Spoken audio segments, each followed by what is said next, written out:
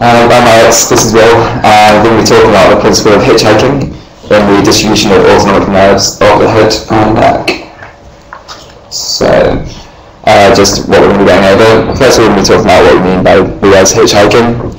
Um, then we're going to be going through how sympathetic and how parasympathetic nerves hitchhike uh, to get to their target tissues from the central nervous system. We're going to run through two examples of how parasympathetic nerves get there and then talk about some of the syndromes, some of the symptoms that can happen when things go wrong. Okay, so what do we actually mean by hitchhiking? Uh, it's just the means by which the parasympathetic and sympathetic neurons go from their origins in the central nervous system and get to their target tissues. So just talking about the parasympathetic system first. Uh, we know the parasympathetic nervous system has craniosacral outflow. So the parasympathetic nervous system, the fibers originate in the four nuclei within the uh, brain.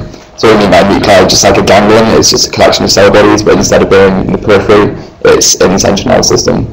So there's four ganglion uh, from which the parasympathetic fibers leave. And immediately after that, they'll travel with the cranial nerve to the ganglia, where they'll synapse, and then move on to their target tissue. Uh, we can go through the details in a minute.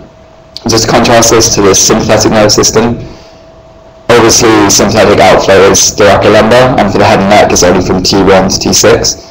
So clearly we don't have any cranial nerves in the thorax, so instead of hijacking onto cranial nerves, instead sympathetic fibers use arteries, uh, so they'll travel out and then move on from there using an artery. We'll go into that in more detail in a minute.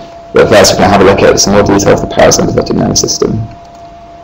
Uh, so, as I said, there are four nuclei. Uh, we're not expecting you to like know all the detail of this, I don't think you'd have to either. Uh, this top one, Will's going to go through in a minute, it's the one we touched upon last week. Um, I'm just going to go, he's going to go through in a minute, so we'll go through this third one down here. So, the third, the third nucleus that parasympathetic uh, fibers come out of is the inferior salivatory, and these are the ones that serve the parotid gland to cause salivation. So immediately after leaving this nucleus in the central nervous system, they hijack onto the glossopharyngeal nerve, or hitchhike along the glossopharyngeal nerve. So they're really closely related anatomically, and as soon as they come out, it's going to travel along towards the otic ganglion, just behind the parotid gland. That's where it's going to synapse, and then postganglionic fibers are going to go onto the parotid gland and cause salivation. As I said, we'll go through these in a minute. That top one should look a little bit more familiar. So to contrast that with the sympathetic innervation, sympathetic fibers, as we said, come from the thorax, T1-6.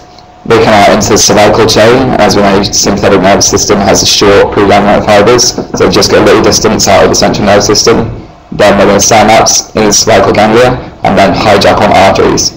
So we there's three cervical ganglia, and each cervical ganglia has a respective artery which it will use to hitchhike its postganglionic fibers along.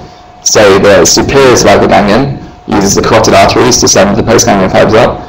The middle cervical ganglion uses the inferior thyroid arteries to send the fibers up, and then the inferior cervical ganglion uses the vertebral arteries.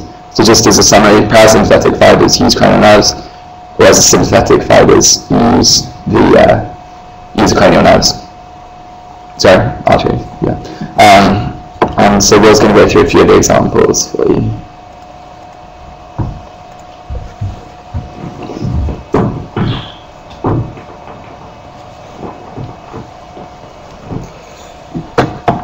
Okay, so this is the one that you might uh, be a little bit familiar with, the oculomotor nerve.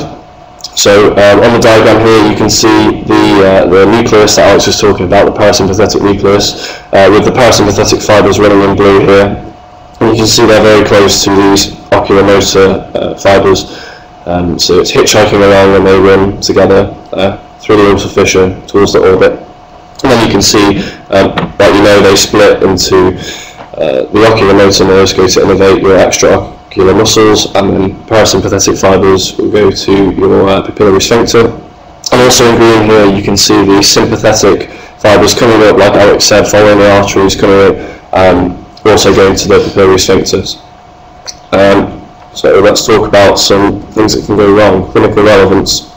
The first lesion I'm going to talk about um, is Adie's pupil.